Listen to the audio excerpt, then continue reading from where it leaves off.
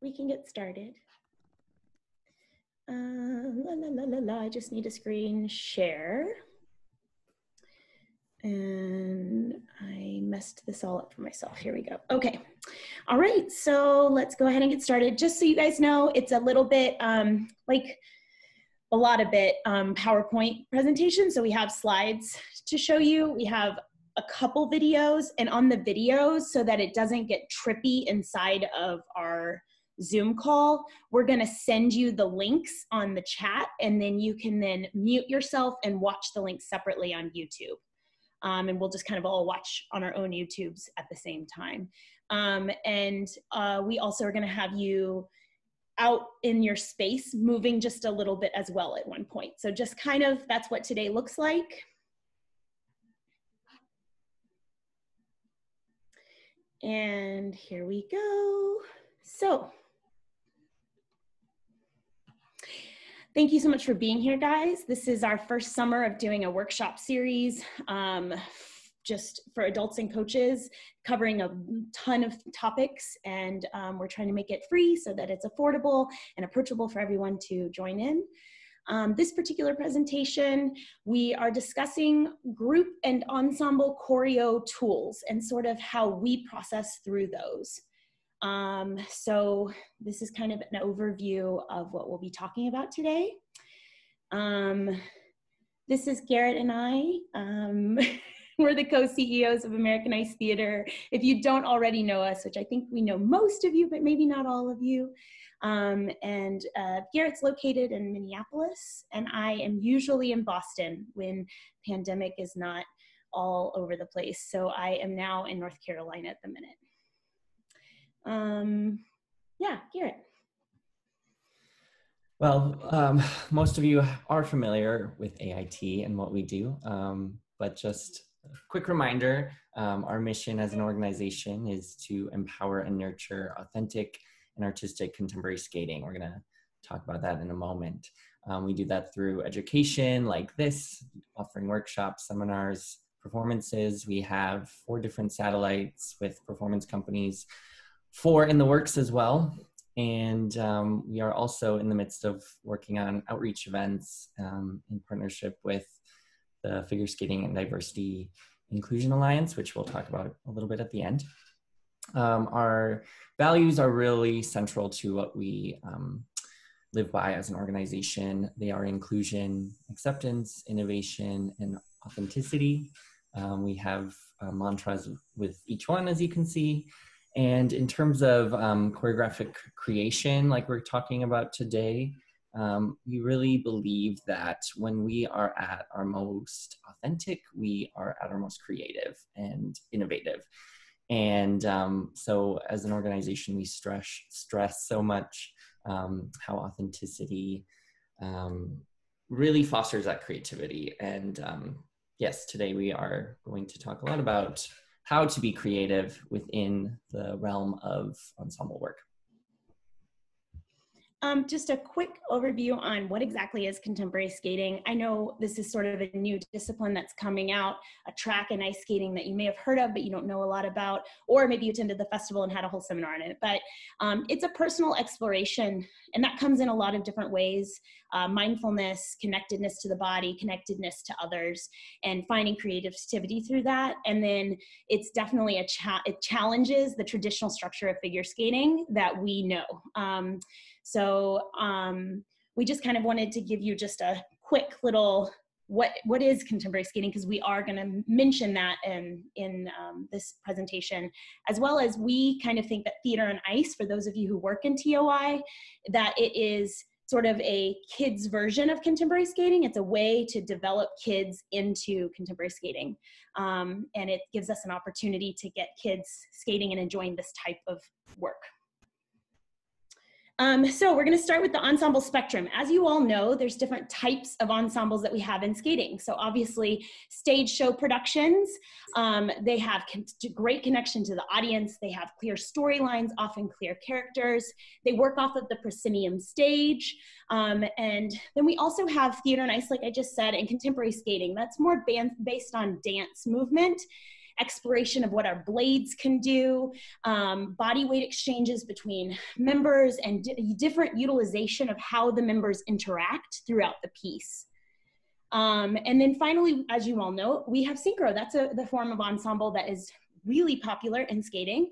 It uses a lot of unison. It's much more clear in its shapes, constantly blocks circles, lines. It's very clear in its shapes, has large ice coverage, and it they primarily say equidistant in spacing between each other. So I like to kind of start with this ensemble spectrum so that we draw the boundaries of the different types of ensembles we may all work in.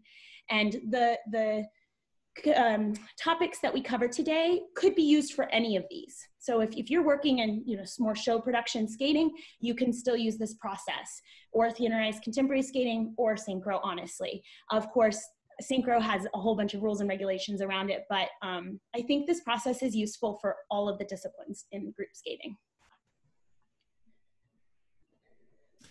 Uh, so we're gonna quickly just discuss how um, Kate and I specifically um, go through the choreographic process and um, there is no right or wrong per se. This is just our method, how we go about um, creating a piece. And I think in our bias opinion, it is the um, clearest way to do it. Um, so we start with form, um, the ways of organizing movement within the piece. What is the theme? really the why of creation. Um, we're going to talk later about motif and intention as well. Next, we go into space, um, designing the um, spatial design around the rink, um, the space of the body. We are going to um, talk more in depth about that today. Next, we go into time, um, rhythm, tempo, how we can mix that throughout the piece, creating variation. And finally, we go about energy, that is expressing the emotion of the piece and the qualities of movement um, within the piece. Um, all of these things, these four ways, we um, really go in depth in our class, Master Choreography Techniques. And um, we have that is a semester long class that you can sign up for if you haven't done that already. There are some of you here who have taken the class. Um, but um, yeah, check out. Highly recommended. Thank you, Elizabeth. Thank you, Elizabeth. Um, check our website or um, contact Kate and I directly for more information about that. Yeah, and we're taking these today and we're kind of reordering them to how we use them when we're actually thinking in terms of choreographing for groups and ensembles. So this isn't the actually the order that we teach it in the MCT class, but we're kind of breaking down the order in which we do it. So today we're going to talk in depth about the theme of a piece. And what we like to do to start is finding inspiration for the theme. For some of us, we might already have a set theme through, you know, say you're creating for a club show and there's already a theme in place. Um, you might already have that theme given to you. You might have music already given to you. Um, but we are also talking about, you know, say you both have a theme and music chosen for you. How can you make that still creative within the constraints? Um, a theme can also be uh, chosen in different ways. It can be abstract through emotions, through words. Um, oftentimes we see a literal theme in, um, say, club shows or um, theater on ice. Oftentimes we see a literal uh, portrayal of a story or um, a character, which is fine. Um, but there are also so many different ways in which we can discover our theme, and we are going to talk um, more in depth about that too. Can, okay.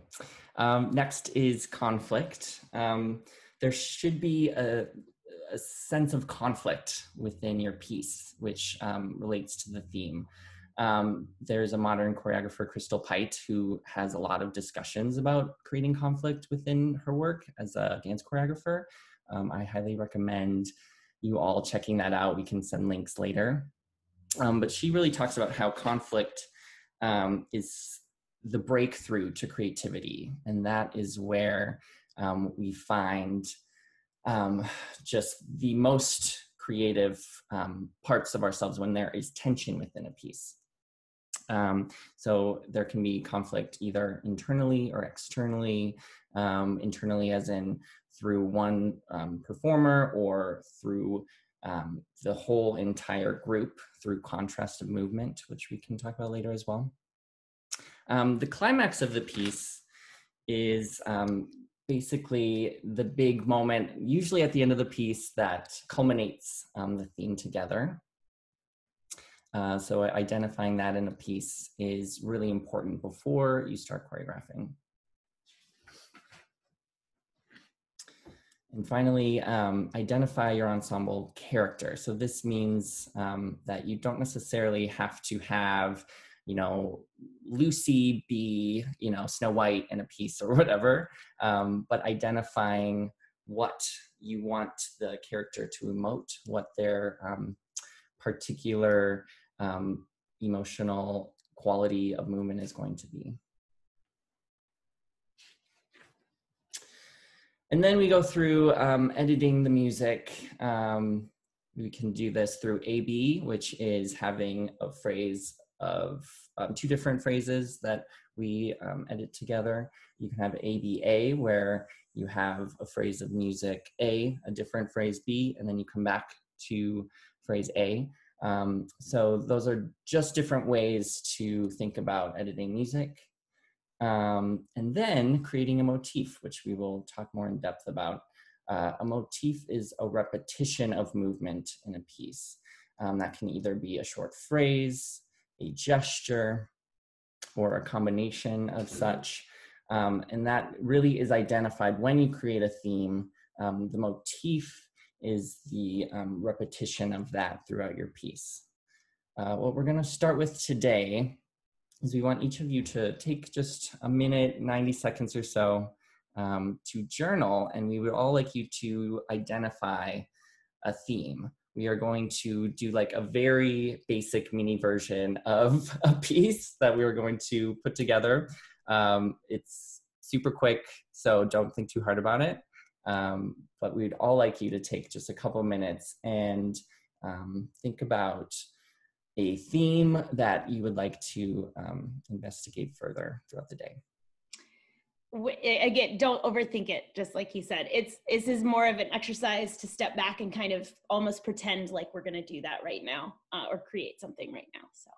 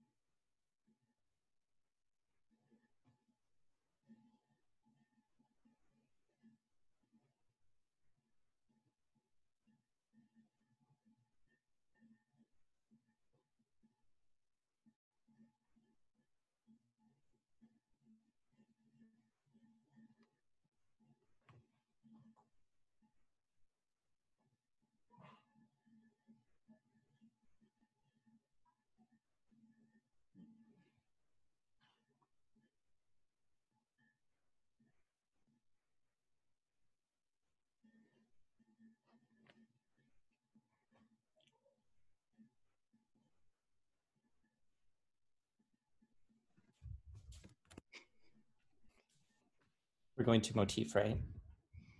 Okay. No, we were going to do the video. Oh. And then motif is later when we get them moving.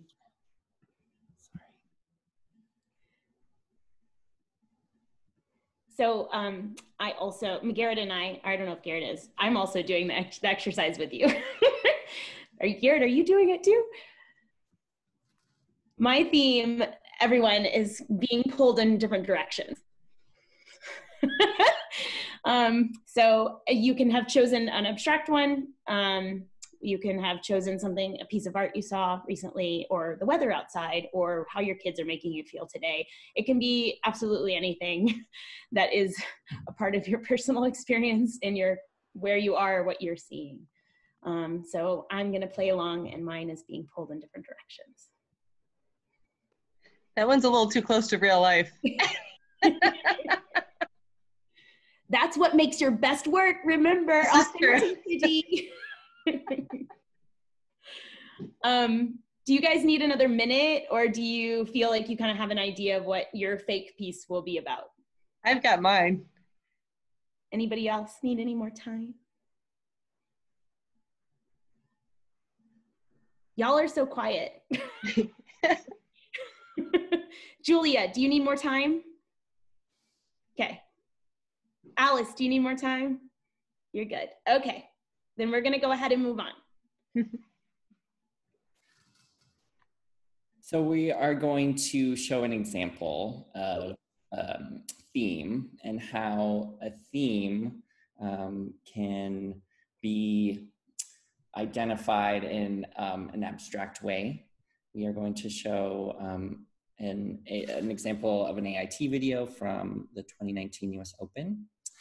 Um, and this was a piece choreographed by the lovely Miss Kate McSwain. Um, and we're just gonna show like the first like 90 seconds, two minutes, um, but we want you to watch it and um, try to identify the theme and whatever comes to your mind, um, we're gonna just briefly talk about it afterward. Um, and so what we're gonna do is I'm gonna send the video through the chat um, and we would like you all to um, play it on a new window and um, you're gonna just, we're gonna, gonna mute ourselves and you can watch um, together. We'll count down and press play together. So I have. And we'll stop you halfway. we'll verbally stop you. yeah, I put the video in the chat box. So we'll, we'll give a moment for everyone to click on it.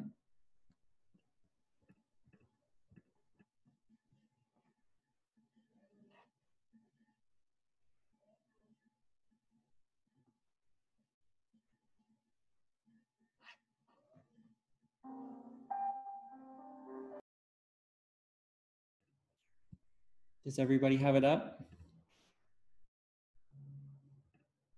Great. So we will press play in three, two, one, press play.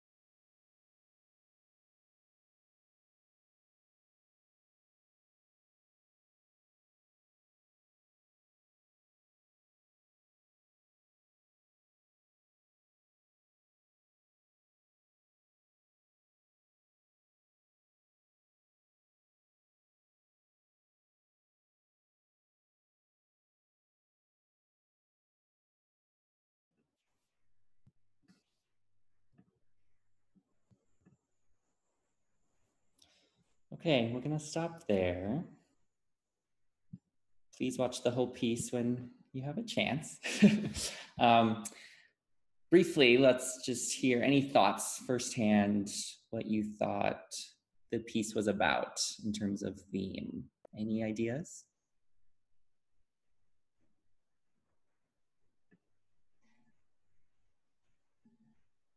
Come on, guys. Sorry, I was trying to get off mute. Danielle. Well, I love the colors. I love the lines. I thought uh, it looked like just the contrast between, uh, you know, some of the skaters being a little more ahead and the other ones trying to catch up is what it looked like to me. But that might be a disclaimer. They learned this in 10 hours. Well, no, no, no, no I'm not saying that was. But it, I, it might be that that read that way. Yes. Yes, I can see like the theme of just sort of playing catch up a little bit. Yes. Yes, I can totally see that. Because they have, we did the unicorning movement that looks like that.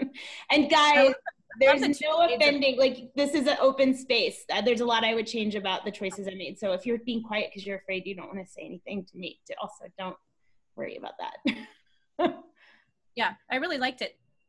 Thanks danielle. Trying to catch up. I like that. What else did we see? I've seen this one a few times so i feel like i'm cheating. Um, but uh, and because I know about juxtaposition now, um, but uh, even though I've seen it a bunch of times, um, it uh, to me it always felt like uh, it was like a representation of someone um, trying to, trying to like stuck in a position where they were expected to conform, but they're trying to do something different. They're trying like because like the movement doesn't always match the music. Um, in places it does, but in places it doesn't. It's kind of like um, like a forced conformity, but then like moments of like, I'm to do my own thing. Thank you, Elizabeth. Rebecca? I was actually going to say, I kind of felt like I was cheating from, well, one, the name, to having seen it for a couple of times, but it was definitely about the contrast and like theme wise, it kind of looked like, I agree, sort of like a breaking out, going and, and kind of doing your own thing, um, as opposed to that, that conformity, that unison did anybody see anything different than that? If that's, if not, fine, but we just want to open the floor. Okay. Garrett, did you want to say anything? Um, yeah, I mean, I watched it without music and I was trying to think about it and if I hadn't seen it before, because obviously I've, I was in it. I know everything about it, but um, if I was trying to think about in terms of just watching the movement, I um yeah, I like that idea of like this kind of um frantic. There in the vibratory moments made me um imagine kind of like there was an, an anxiety almost of like having being late almost maybe? Like yeah, yeah you're like what Danielle said yeah. Yeah so I really echo with, with um what she said. Yeah. Well, so the reason we like to use um, videos of sort of more abstract when we're talking about theme is because we could show you a video of Annie on ice and you would know exactly what that was. But sometimes it's it takes a little bit more to think about what are we seeing from the movement, what are we seeing from the connection to the music and the skaters themselves that's telling me something. And it takes a little bit of a deeper look into that both from our mind and also how we're watching the piece. Um, and so we like to kind of push everybody when we teach this class that we want you to kind of step into a zone where you're having to work a little harder at that thinking about that. Um, and does it have to be like this is probably the most abstract piece I've done because it really was just about juxtaposition. A, a, little bit actually about what Elizabeth said in the getting stuck and wanting to be in one place and then moving to another, like a little bit about that. But really, I just wanted to make every choice something that you didn't think that the music was. so everything that you heard, I wanted to be like, nope, we're gonna do this instead. And oh, is that awkward to stand on the boards and also have your face like next to this person's knees and sliding your hands down their butt? Like, yep, that's awkward.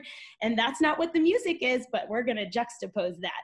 So I was attempting just to make really, really ridiculous choices on purpose and obviously there's pieces out there that are just about based on an emotion or an experience and those are maybe more clear cut than even what i just did but you might gain something from it and bring it into your own experience i watched this piece and when it made me remember you know i had this experience and it made me think about that emotion and like those kinds of pieces i think uh, that extra level of thinking and working at it is um, really meaningful and uh, it's kind of what we strive for um, and anyway, so that's that's what that was.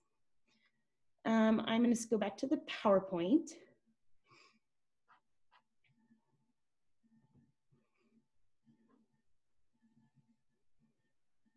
Come on. Okay, so we did this. And um, so I'll do this slide and then we'll show the video, Garrett. Okay. Um, so space of the ice, we're gonna glaze over this. We had an exercise for you guys, but we're already halfway through. And like I said, there's a lot of content in this um, PowerPoint, which is why we are realizing this could be a much bigger, deeper dive. Um, when we work through um, Space of the Ice, I like to think of it in terms of puzzle pieces. And these are my silly names. So these aren't real things. Um, what you see, some of them are silly names, some of them we all would know.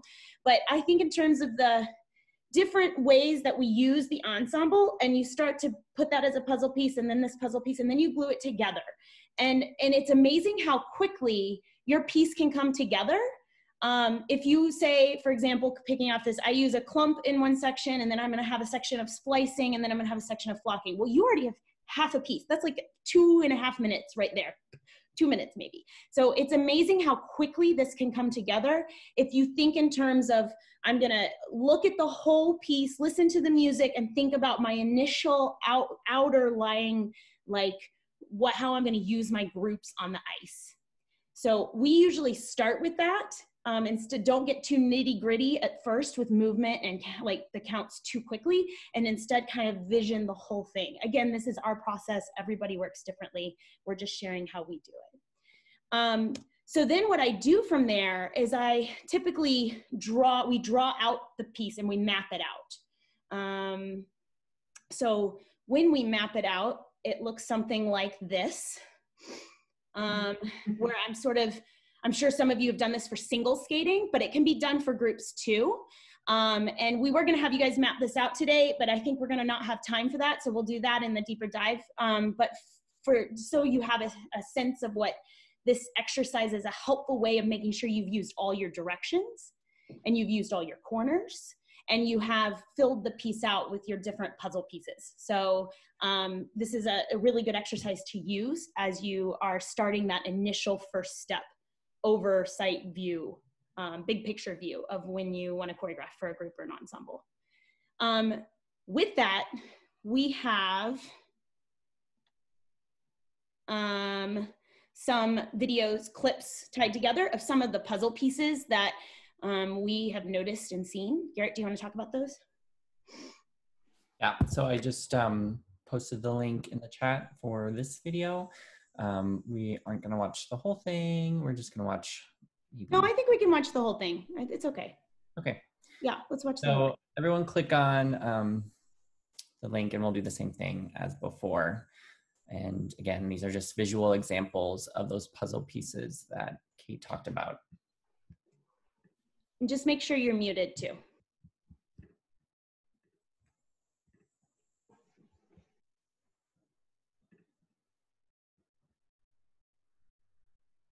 Everyone good with the link? Thumbs up. All right, and three, two, one, press play.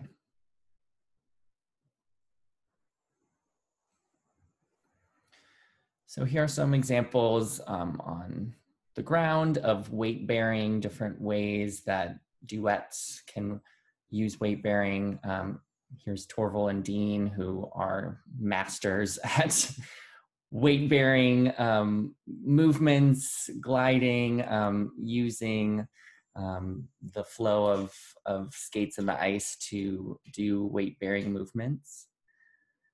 And here's an example of um, a theater on ice example of flocking and mirroring together.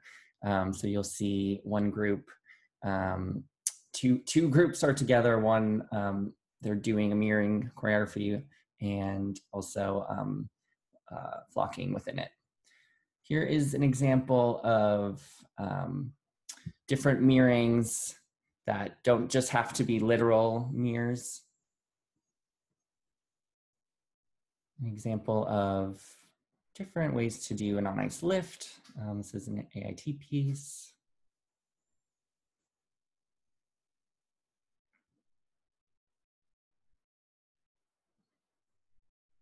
Here's a group block example, um, and also a good example of how contrasting movement in a group block um, creates dynamic um, movement in the piece.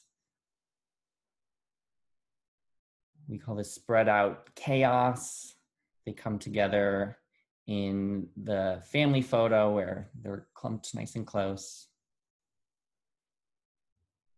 Um, a theater on ice terms is is twins, which is basically just duets. Um, we see how they link up there. This is an example of a clump that's moving. Um, so there are a lot of interesting ways you can use that um, clump in a group.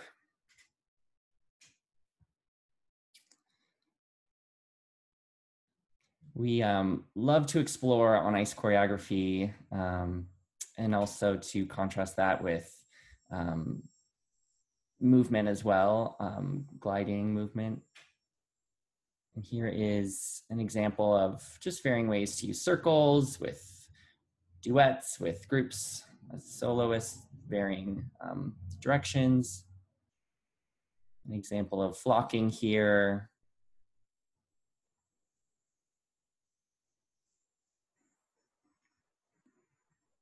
In a creative way for splicing. Um, and here's another example of using lifts um, in different groups, having some in a lift, others doing other movement.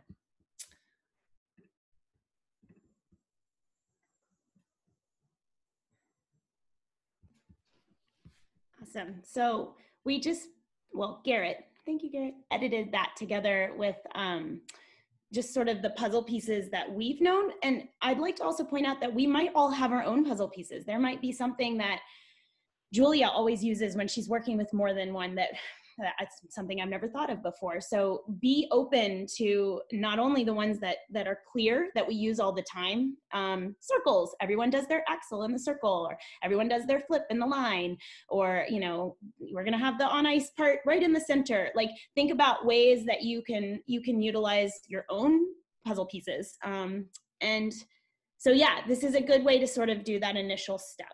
I'm gonna go back to sharing my screen, which I'm so slow at. Here we go. I don't know why it went to that one again, but that's okay. Kate, I have a question. Yes, please. As I'm dying to know, what, what are hurricanes? um, I actually, if you saw in the video, I named it like such a silly name. You guys have to name your own puzzle pieces. Um, it's it's when they went kind of around and around. It was sort of went into the clump. That one group in the brown. Ah, um, got it. So that was the only way, one that had me stumped. well, any kind of way that like moves in a quick, especially in the ice, yeah. fast we can move, where it's sort of circling like a tornado. Um, that totally makes sense now. My name for it. I love it. Um, oh, this is the next one. So Garrett, you got this. So um, yes, props are a great way um, to enhance your piece, but also um, not always the um, most important thing to do. We we uh, like to say that if a prop doesn't already enhance your choreography, there's no purpose for it. Um, oftentimes, we'll see in theater on ice a prop being used that you know they bring out and it might be used in the first 30 seconds and then they, it's not incorporated again. And um, we believe that it's very important to um, yes distinguish if the prop contributes to the theme. Um, decide if your theme can be expressed without the prop and identify how the prop can be used as an important part of your choreography in relation to space um, of the body and on the ice obviously for synchro this is not an important thing but for show if you're doing shows group numbers and shows if you're doing theater on ice these are things you want to consider. Okay so now we're going to move into space of the body. So we've done theme and we've done space of the ice the overall umbrella kind of looking down at the piece. And then the next thing that we do is um, we do space of the body. So we're creating movement on our actual bodies. Um, and in, in American Ice Theater, one of the pillars of philosophy of our movement is six ways of the spine, which we're only just gonna show you pictures here. We're not really exploring that. Again, that's something that we explore in lots of other ways and seminars and classes if you ever wanna join us. But um, six ways of the spine breaks it down pretty like easy breezy. Here we go. We have we have contractions one. We have upper back extensions two. Notice how in this upper back extension image, she's not pushing her hips forward. She's lifting through the upper um, part of the spine to arch backward. Um, we have side bends um, and that obviously three and four go to the right and to the left. And then we have twisting. So finding the twist, but with the hips square. As you can see Star here, her hips are pretty square in that um, cross-legged position and she's twisting her shoulders opposite them. So we teach these six ways and then the blending of these six ways in order to really help skaters at a young age and coaches have an approachable way to teach core body movement. Um, we are hoping to have a five week six ways course starting next summer. Things got a little bit put off from the pandemic pandemic but we're hoping that that will be something we can do. Um, and garrett there you go. So use of space of the body, we can use, um, like Kate just showed with uh, six ways of the spine, using both 2D and 3D movement um, 3D movement using the three planes of the body, which includes the curve of the spine. We can show um, body shapes either symmetrically or asymmetrically, positive or negative space. Um, so negative space is the space um, around the body that is created from a shape. We can add uh, pedestrian movement, um, which is like everyday movement that um, we can use to enhance a piece, um, like walking or um, waving, which is also an example of a gesture. Um, we are going to explore some gestures in a little bit. And rem remembering to use level changes throughout um, as we incorporate these movements of the body um, using low movement, medium, and high um, enhances the dynamics the piece. Um, so what we're gonna do now is a very short movement exploration. Um, we are, I'm going to just go to where I have more space.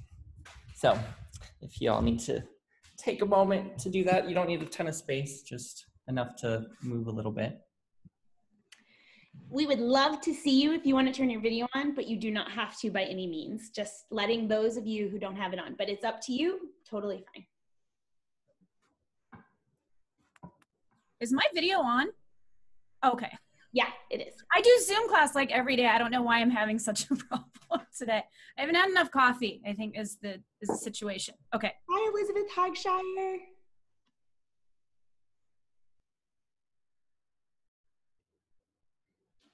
All right, so we are gonna start standing. We're going to just start with swaying the body back and forth. Put one hand on the tummy, one hand on the chest, just to start moving. And breathe. Close your eyes if you would like.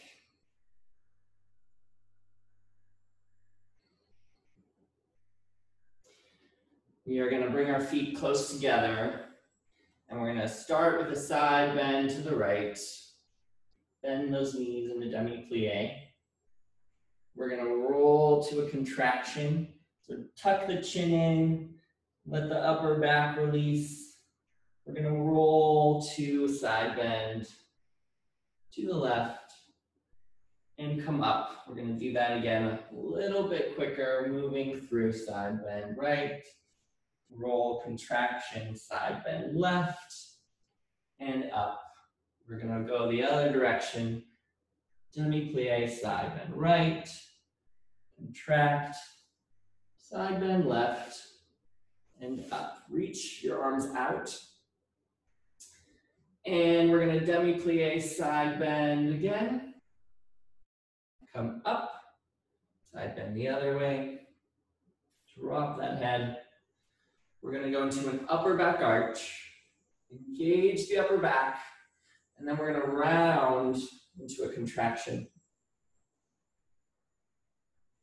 Breathe in, upper back arch. Breathe out, contraction.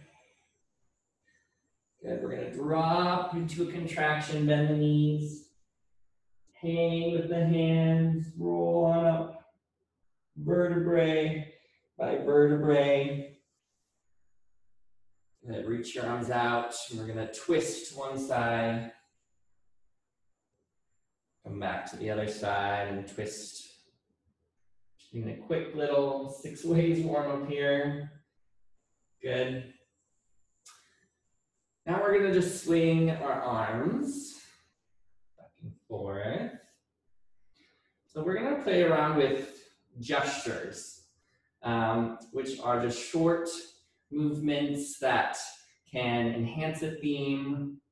Um, so we are gonna play around with different gestures of the body. It can be just a one movement of the body or um, incorporation of a couple movements together. So I want everyone to continue swaying and you're gonna lift your right leg. And I want you to now move the leg and shake it out. Lift those arms. And now increase the shake of the leg to really, really fast. And stop. And lift the other leg. And shake it really slow this time. Almost like you're not moving. Move that leg. Bring it down. Take your right hand and wave in the wave in the air like you're seeing an old friend. And now take your other hand and pull it in. Wave. Now make that quicker. Pull it in. Wave. Pull it in. Now release that arm out. Let's try those together. You're gonna wave, pull it in, release it out. Wave, pull in, release it out. Great, let's try that again where we side bend as we wave, we contract as we pull in, and we twist as we release. So side bend, pull in, contract, twist, release. One more time. Side bend, pull in, release. Good. So that was uber short, but that was just a way to identify gestures. Um, so what we're going to do now is we want each of you to take about two minutes again to create a motif. Um, like we said, it can be a gesture, it can be a short phrase of movement, it can just be one movement. Um, but a motif, as we said, is a movement that is repeated through the piece. Um, and let your motif be informed by the theme that you created, that you already wrote down. So, if you have any questions, let us know.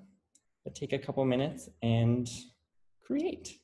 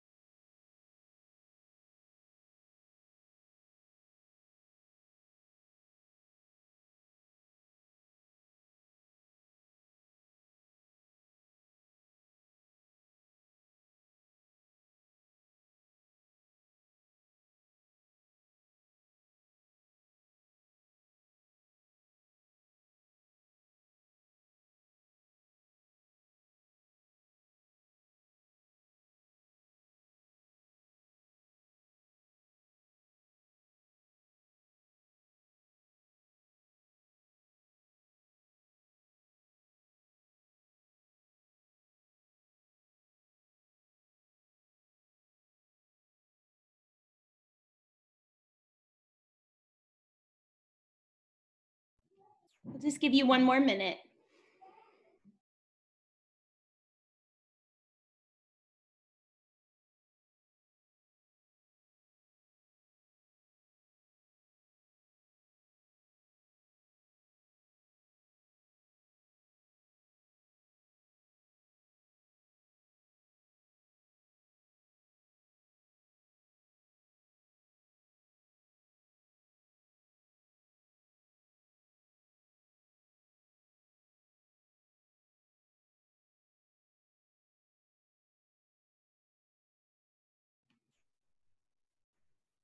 Okay, guys.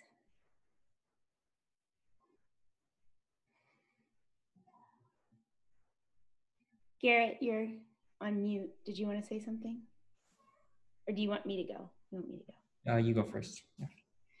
Um, so something, okay, so I, me and Garrett are going to show you ours. Um, Garrett, what was your theme? Theme was clutter. Okay. So mine is pulling in different directions. So I just did that. So I'll show you one more time. I went one side and then the other side.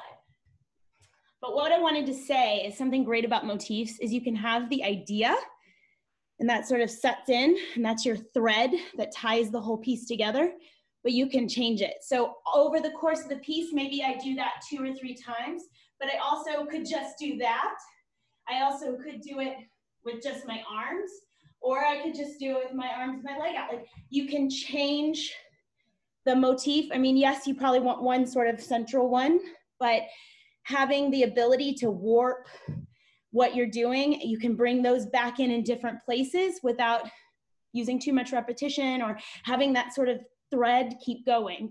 So that's a fun way to play with motif too. Garrett, will you show our, us yours for clutter? Yeah, I my theme was clutter just because my room is cluttered right now, and so I was imagining um, in my movement like me seeing all the different piles of things I have. So here it is. see, okay.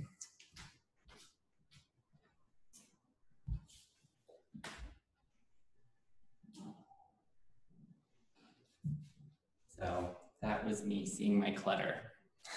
and something that Garrett could do is he can break that too. He has uh, it's essentially like three movements tied together. He could make it that's just the looking around is just one motif moment.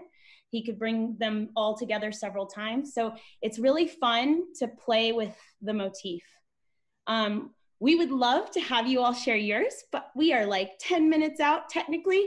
So we're going to keep plugging away. If hopefully you're finding this helpful, even though, I mean, you may never use this, it's just that the exercise of forcing yourself to sit down and sort of take time for it could be really helpful, I hope.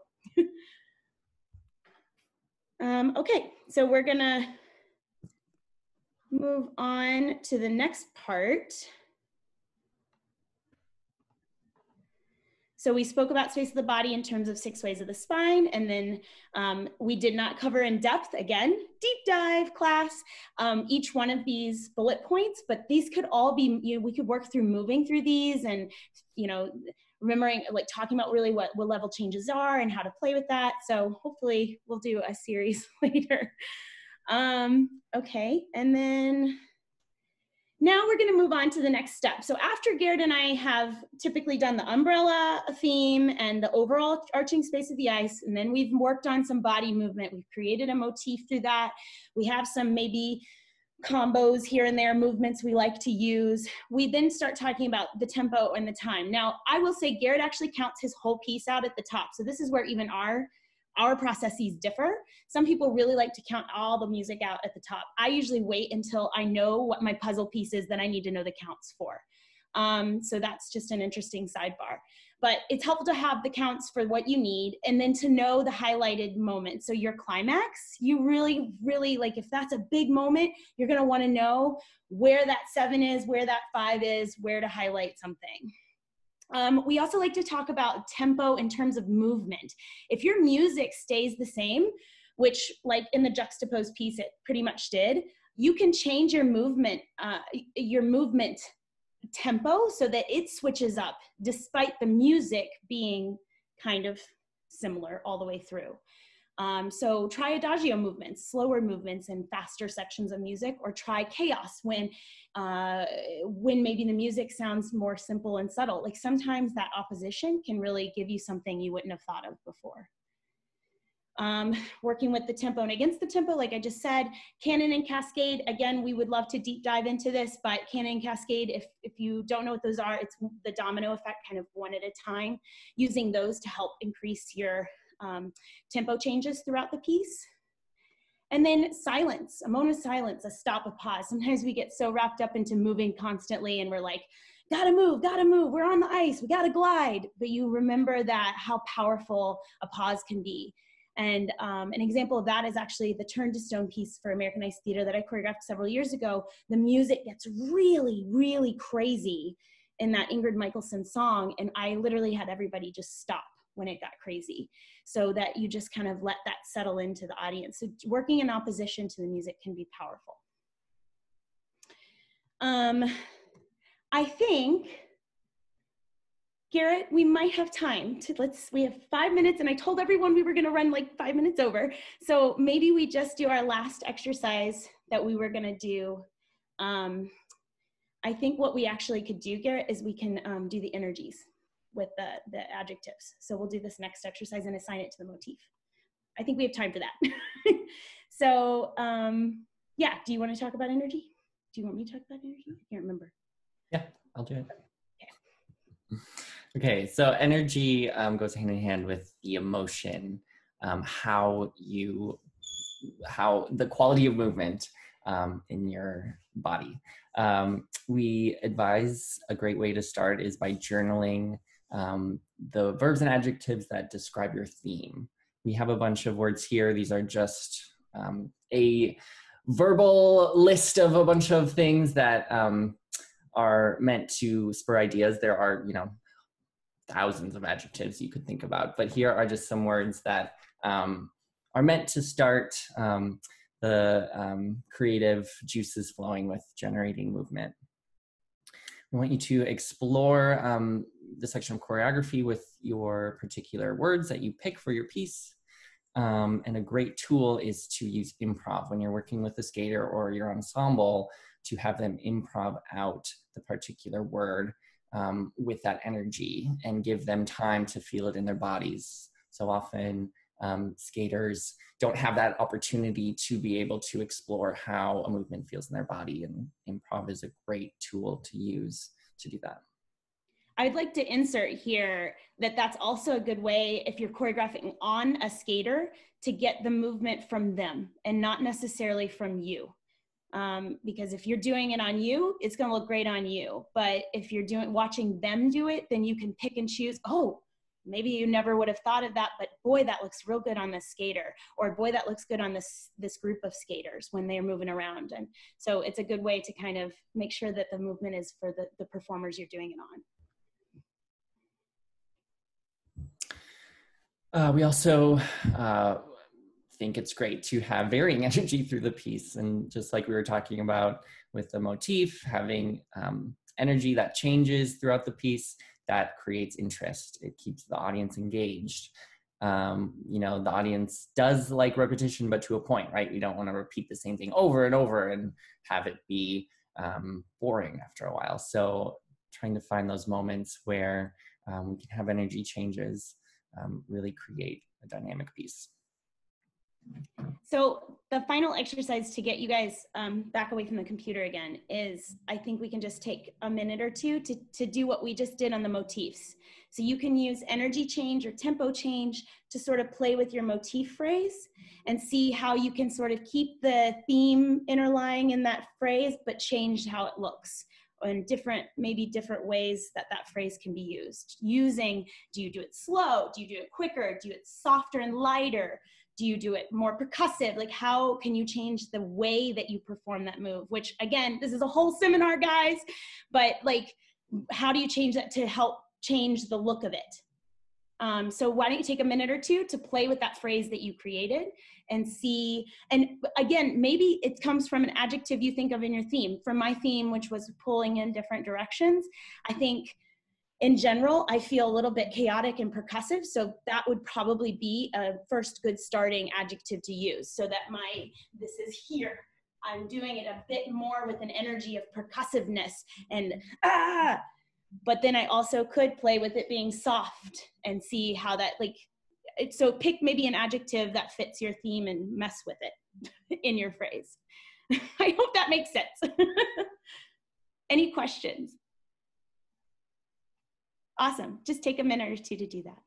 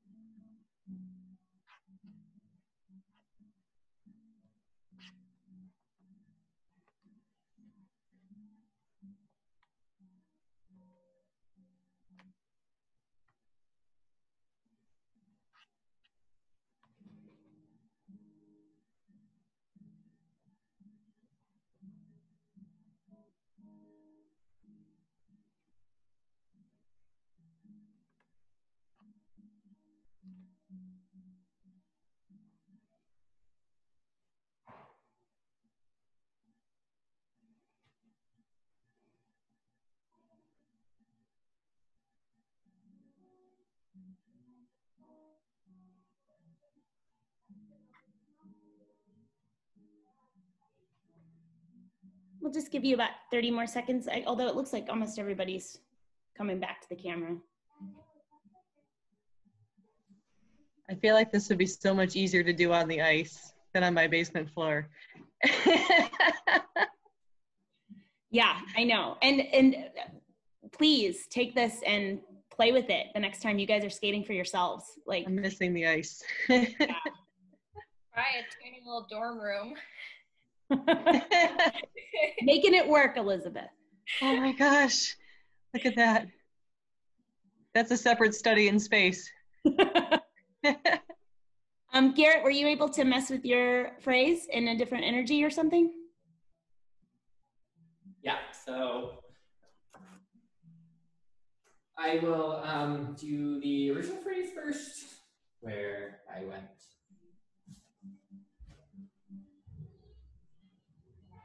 Now with varying energy and tempo,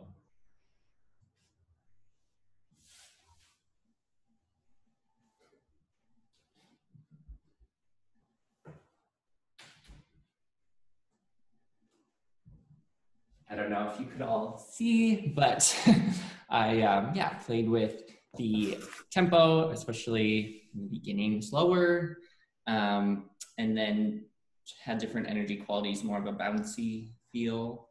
Um, and then tried to speed up my little around the world uh, movement um, and then make it really slow at the end. So there were like three or four moments I tried to change. You know? So between those two, I would ask, what did you see different, guys? Did it make you feel anything different when you saw the second one, when he changed the energy? To me, it looked more emotional. Yep. I don't know if it was intentional, but I noticed it more when you slowed it down. When you talk about your use of space and like the negative space, it almost looked like in the slower version, like you were dodging an object that we couldn't see. I, I was gonna say it looked sticky. So like you have this idea of clutter, but it's like it's making you feel sticky. So all of a sudden, we've attributed an entire emotional audience reaction to one tiny phrase and a theme that he had told us. Like it's amazing how this can kind of all come together just based on sort of building in the space of the body, building in how it's performed, right? And we just did the small thing, but it can be done for the whole piece. It's really, it's really incredible. I love this. This is why I do what I do. Um, that was awesome, guys. Okay. So we are nearing the end now, and the last couple slides we'll just uh, go over, and then we should be all set. Oh, there it is. Okay. So, um, we talked about energy. And so I, I meant to say too, before we hit this slide, this is the final step for us, we choreograph the movements, we kind of get the idea, we get the counts, we know what's up. And then finally, we're like, in this puzzle piece, this is the emotion we're trying to portray from this part of our theme. So now let's attribute some of these adjectives, some of these words, help the kids and the performers get there, get on that same page of character. This is where that character part plays in and really getting an emotional reaction from the audience. Um, and then our final couple slides is how do we keep it interesting? Mostly, if you've already heard, not already, but like we said it a couple times, contrast, right? There's this great quote um, that essentially says, you want to not bore everyone, but you also, it says, novice choreographers often make the mistake of using every trick they know in a piece. And that can also get a bit too choppy. So, making choices intentionally, um, we talk a lot about that in MCT, making intentional choices. Um, and then at the bottom, selecting a characteristic motif that can, and developing that, just like we just did. We literally just took a motif and started to develop it.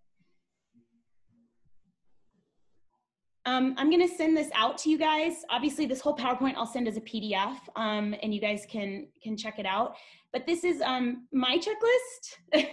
Um, always question everything, like not in a way of insecurity, but in a way of intentionality. Go back and be intentional, like did I use a pause or a stop? No. Why? Why did I not? And if you can answer that question confidently, then you can be confident on that work.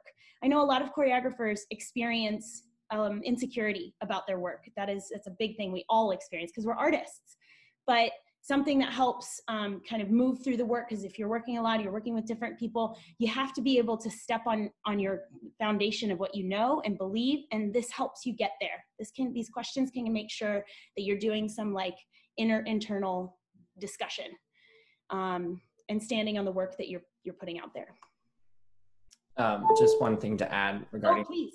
yes you know, talked about at the beginning we are our most creative when we are at our most authentic selves and taking risks is an authentic part of ourselves that um, when we do that that is a very vulnerable position we're in.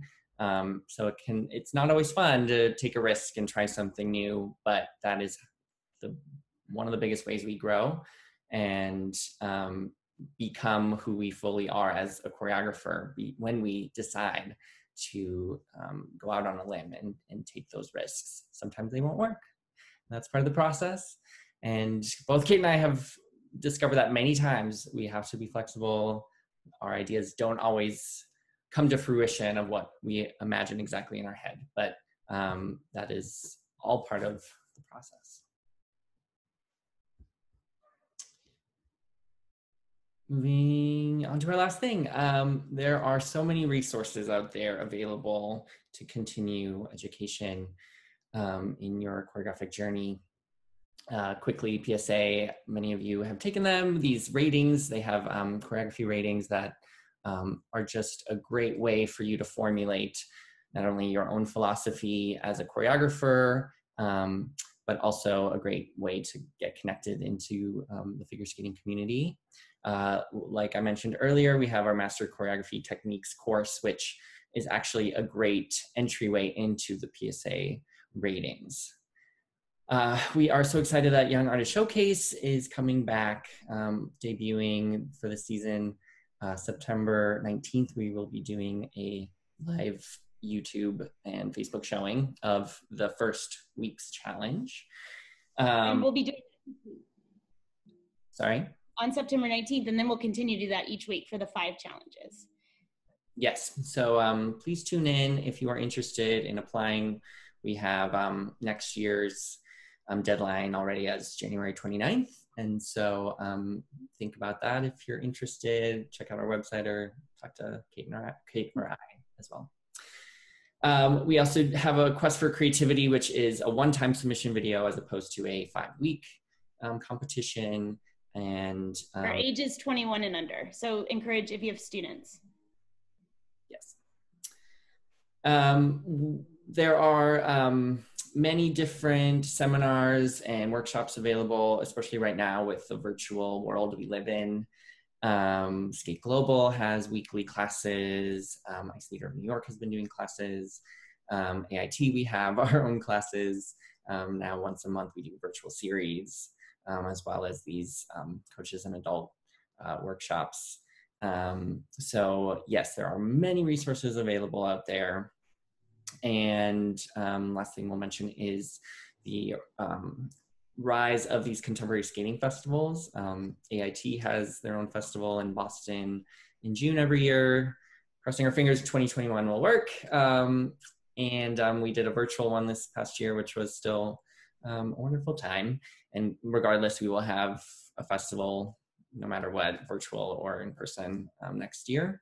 Uh, in Berlin, there has been the Unfreeze Festival for um, three times, four times now, it's since 2016. Um, they are hoping to um, continue to offer this, um, and they are getting organized literally as an organization. So there will be more information about that. And um, the Figure Skating Diversity and Inclusion Alliance has formed. Um, partnering with them.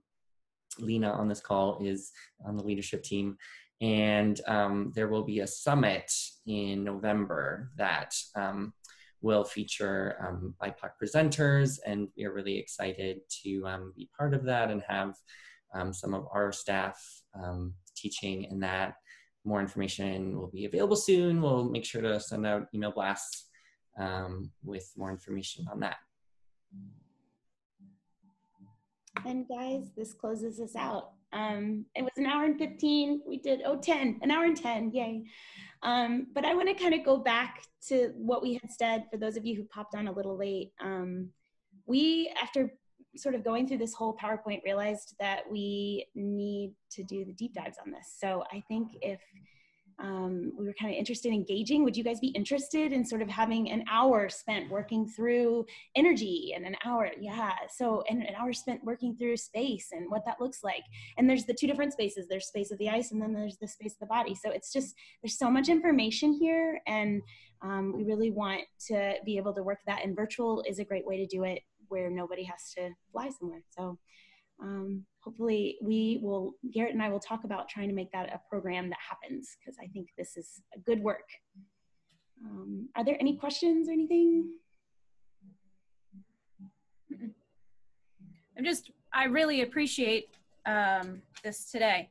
I think yeah. this is, you know, I mean, it's been a terrible year, but I don't know. I've gotten to like some of my skaters it came back. We just got ice like a month ago. Landing axels that left with like a toe loop.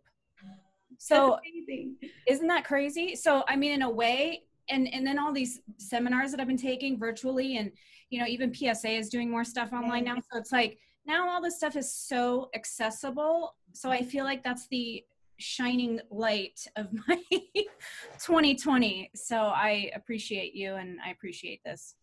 Thank you, Danielle. I would agree completely. I would agree completely. I've connected with so many people, and AIT is now partnering with FSDIA. That wouldn't exist if it weren't for sort of this virtual world that we're living in. So, right.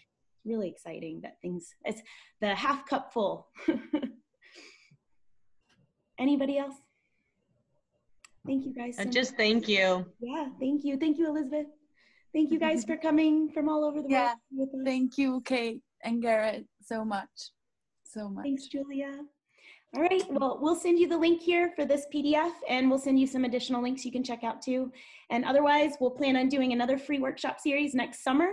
It'll be four classes just like this, uh, different topics all over the place, kind of a gloss over of each topic. And I think between now and next summer, we'll probably do this deep dive on choreography. So look out for that too. Thank you. Thank you. Thank you all so much. Bye, everybody.